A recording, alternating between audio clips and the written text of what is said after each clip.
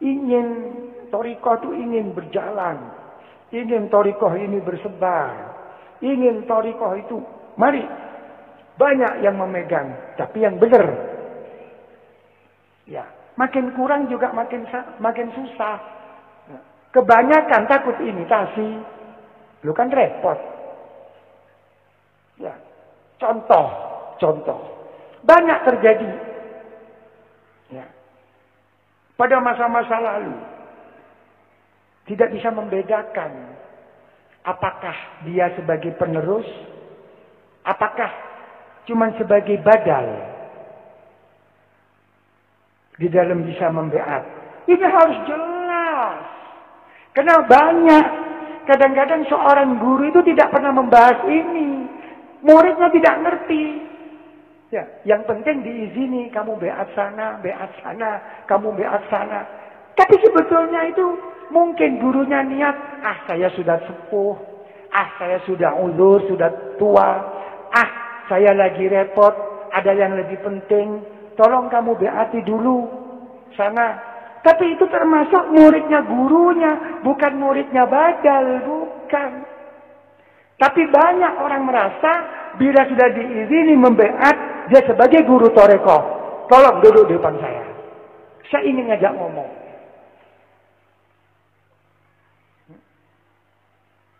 Ya, saya ngomong begini itu apa?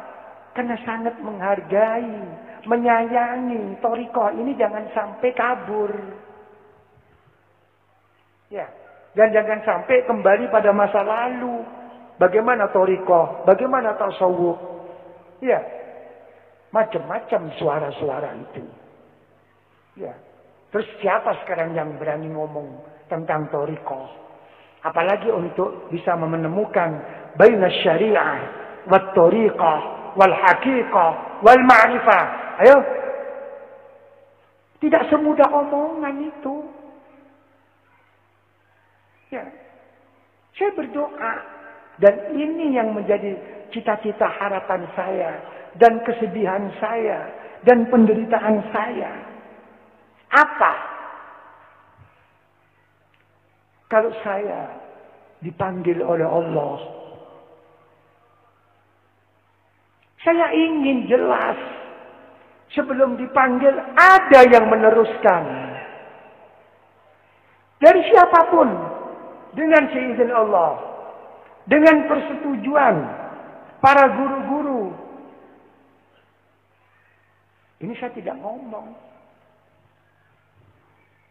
Saya kadang-kadang bagaimana kita menghadap kepada Gus, kepada wali aktab pada saat bulan ini, tanggal ini, ini di mana beliau? Beliau nggak tentu tempatnya. Tapi kita digigit oleh guru-guru dengan cara khusus bersalam kepada beliau. Tapi dalam urusan apa? Saya yang saya pikirkan, siapa yang meneruskan? Saya yakin ada, cuman siapa? Karena saya sampai sempat menodong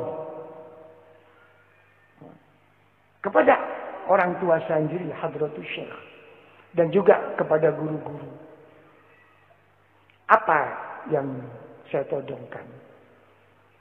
Saya duduk seperti ini saya berhadapan seperti ini bukan kehendak saya. Bukan kemauan saya. Wahai para guru. Semua ini karena dipaksa dan ditodong saya.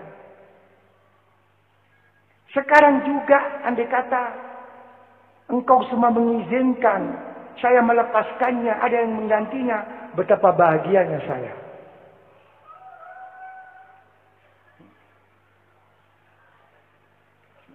menodong saya. Apa kemauanmu? Saya jawab. Tolong. Atasi semua ini. Bereskan. Siapa yang akan meneruskan kelak pada saat saya mau meninggal menghadap kepada Allah. Saya orang bodoh. Saya orang lemah. Saya orang hina, wahai guru. Tolong. Tunjuk. Saya tidak akan mau memilihnya. Berat. Buat saya itu berat. Jangan hal yang sepele-sepele yang harus dilaporkan ke saya. Sampai sekarang pun saya tidak ada jawaban. Pada saat parah-parahnya saya sakit. Saya sakit. Dikatakan bahagia, saya bahagia. Saya susah, juga susah. Allah, saya susah dengan saya sakit. Saya menangis. Tapi bukan karena sakit saya. Sakit saya sebagai manusiawi saya merasakannya. Tapi saya yang terasa adalah bagaimana anak-anak murid, bagaimana selanjutnya.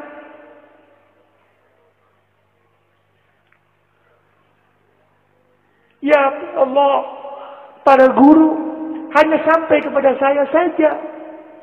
Begitu saya engkau ambil selesai. Tidak.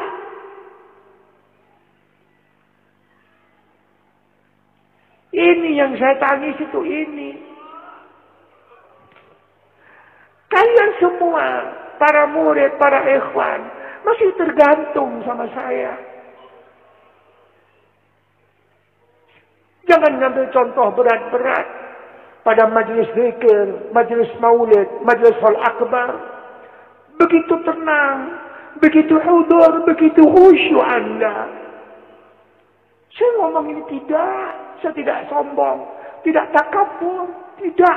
Itu sudah lewat bagi saya. Yang ada hanya rasa takut di hati saya. Takut tidak husnul khotimah.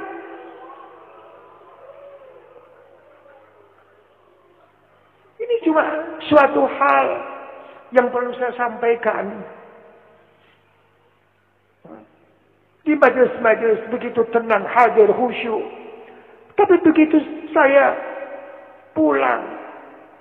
Memberi kesempatan untuk saya lihat dari jauh semampu-mampu saya.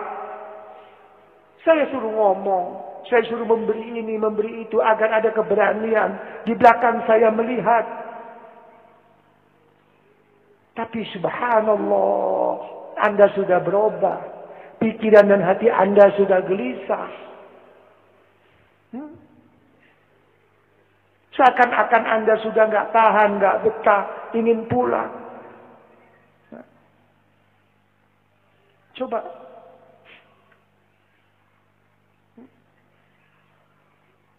Apa saya nggak menangis? Saya menangis di belakang menangis. Saya itu lagi melihat kepada anak-anak saya yang memberi mauidhah hasanah. Dilihat tapi begitu Anda gelisah, saya menangis. Itu yang saya tangisi. Ya Allah, ya Allah, ya Allah. Saya masih ada, ya Allah. Kenapa mereka gelisah? Jangan mereka kau tergantungkan kepada saya, ya Allah. Cepat, ya Allah. Wahai guru tolong, siapa penerus saya? Kita. Itu yang saya menangis setiap saat.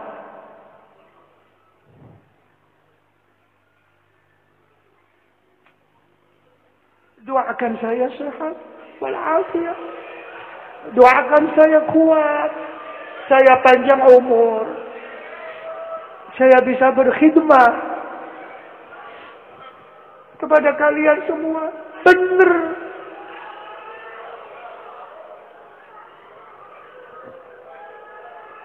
membuat hati saya susah. Saya bertahadus di ni'mah alladhi an'ama Allah alaih. كما كان كبار الأولياء والعلماء يتحدثون بالنعم من الله bukan karena apa-apa saya sakit Saya senang bahagia dan saya juga susah.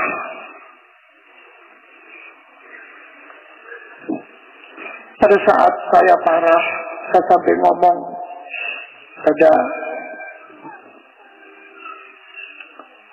dokter Samsul keadaan saya, saya sakit-sakit, hmm, nangis saya. Saya nangis, itu sakit karena begitu sakit begitu itu terbayang bahwa saya makin uzur. Saya nggak bisa datang kepada anak-anak murid ikhwan akhwat saya. Itu yang menyertai jadi saya itu kadang-kadang mengeluh, menangis, tul. Itu susah saya. Tapi ada sesuatu kebahagiaan campur kesusahan. Alhamdulillah, Alhamdulillah wa syukurillah. Berkah Rasulullah wa alihi wa sahbihi ajma'in. Berkah para guru-guru, lebih-lebih kanjeng Syekh Hadrat Syekh. Dan berkah dari semua ikhwan akhwat jamaah yang benar-benar, yang ikhlas, yang ingin sama-sama berjalan kepada Allah. Berkah kalian semua.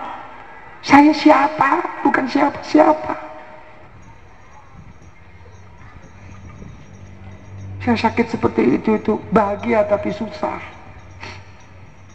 Apa bahagia saya?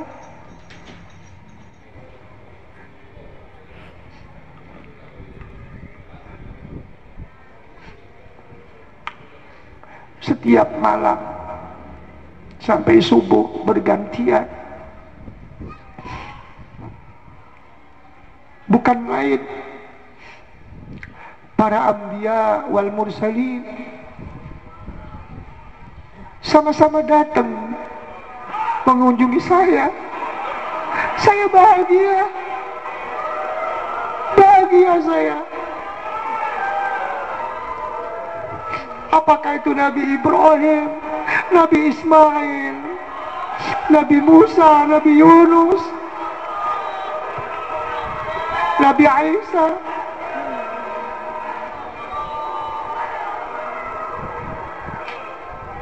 saya bahagia. Berkah kalian semua.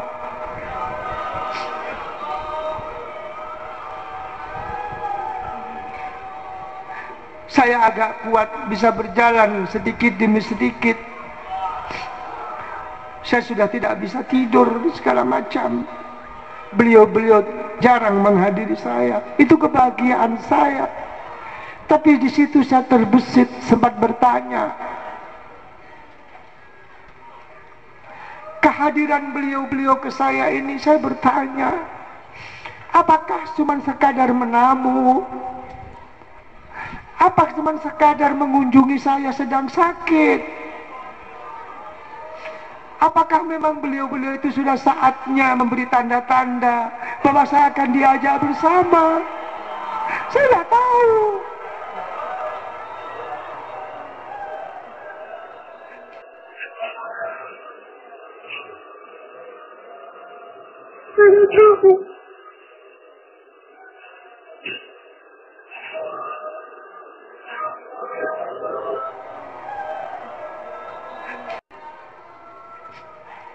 Ini yang menjadi pikiran saya. Sudah sebegitu saya teringat semua ikhwan akhwat. Bagaimana? Bagaimana? Bagaimana? Saya minta jaminan. Karena saya juga pernah berikrar di hati saya. Memang ya Allah, memang guru-guru saat Nabi Ibrahim sama Nabi Ismail beriringan datang.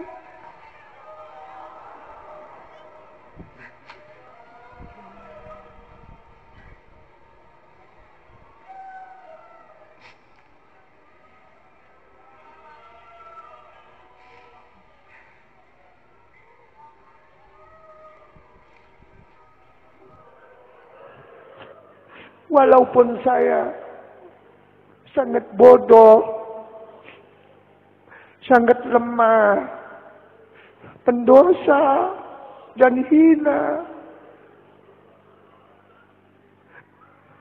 Tapi janganlah ikhwan akhwat anak burit jamaah masuk neraka gara-gara saya.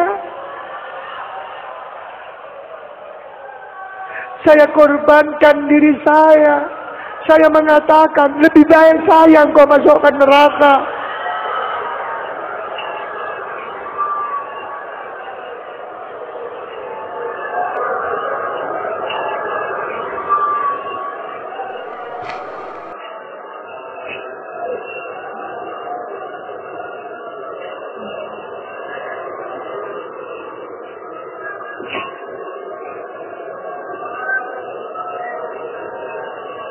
Tidak ada jawaban.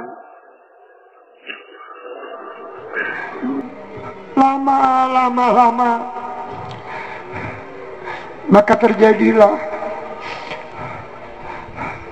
Ya Allah. Semoga mimpi-mimpi semua ini makin meningkatkan kita berbakti kepada Allah. Ba'syiddatil mahabbah wa kamalil mutaba'ah. لرسول الله صلى الله عليه وآله وسلم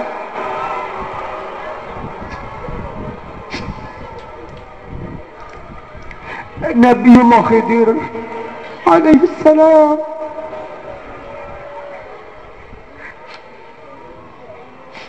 datang mengunjungi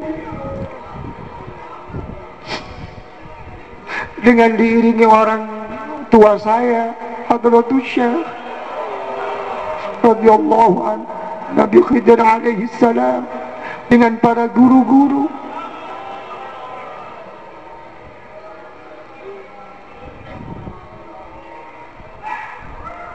Dengan kedekatan sebagai anak kedekatan sebagai murid. Nabi Khidir mendudukkan dirinya hanya sebagai saksi. Hanya menyuruh mau apa dalam mimpi yang lain. Saya minta jaminan. Anak murid saya. Dikemanakan besok di akhirat. Dikemanakan. Dia mau ke mana?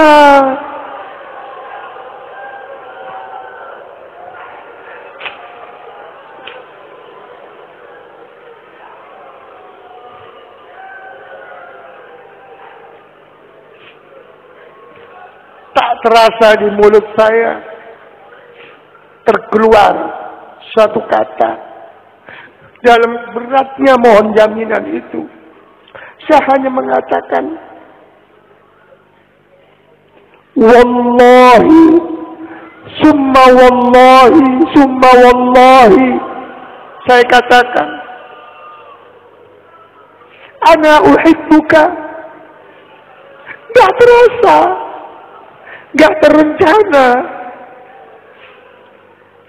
Tiba-tiba makom mahabbah yang saya keluarkan. Ana uhibbuka demi Allah, demi Allah, demi Allah. Saya menyintaimu.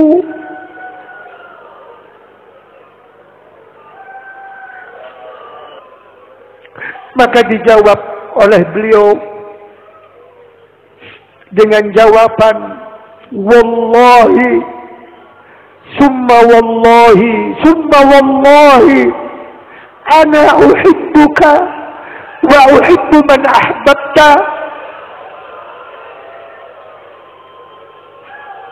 Demi Allah aku menyintaimu. Dan aku akan menyintai orang yang menyintaimu. Maka mahabbah yang saya minta.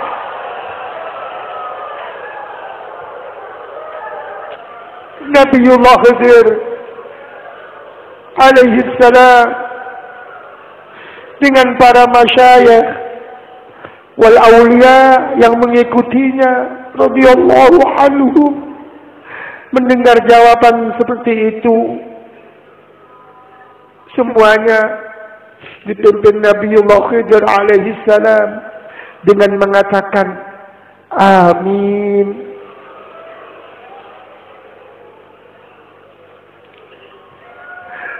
Semoga diterima kesedihan saya, penderitaan saya, kesusahan saya, yang sedih, menderita, susah. Insya Allah, insya Allah, insya Allah. Saya tidak mengaku-ngaku. Karena memikiri para ikhwan akhwat, anak murid, lebih-lebih keluarga di dalam bertorikoh ini. Semoga ada yang meneruskannya. Ya Allah, ya Allah, ya Allah. Kalau belum ada yang meneruskan ya Allah, yang belum engkau tunjuk dan belum diberi isyarat atau secara jelas oleh para guru-guru, lebih-lebih oleh kanjeng syekh oleh hadratus syekh ya Allah. Siapa penerus yang sempurna, yang lebih sempurna ya Allah, yang lebih kuat daripada saya ya Allah. Maka tolong ya Allah, sehatkan saya ya Allah. Kuatkan saya ya Allah. Panjangkan umur saya ya Allah. Dan terimalah saya ya Allah. Sebagai hambamu ya Allah.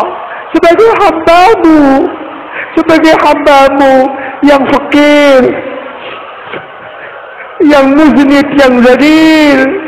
Yang begitu hina ya Allah. Terima permohonan saya ya Allah. Terima. Terima ya Allah. Sesudah saya telah meninggal ya Allah. Engkau panggil ya Allah. Jangan kau biarkan anak-anak murid kita semua ini ya Allah. Ikhwan akhwat jamaah kita ya Allah. Tetap engkau lihat ya Allah. Tetap engkau dengar ya Allah tetap engkau terima ya Allah.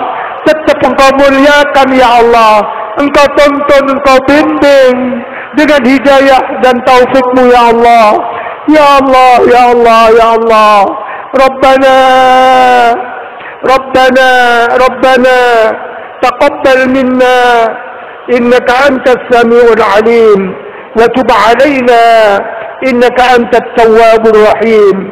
ربنا آتنا في الدنيا حسنة وفي الآخرة حسنة وكنا عذاب النار وكنا عذاب النار وكنا عذاب النار. وأدخلنا الجنة مع الأبرار وأمدنا النظر لوجهك الكريم. يا عزيز يا غفار يا رب العالمين. وصلى الله على سيدنا محمد النبي الأمي. وعلى آله وصحبه وسلم والحمد لله رب العالمين بحق وسر ونور سورة الفاتحة. وإلى حضرة الرسول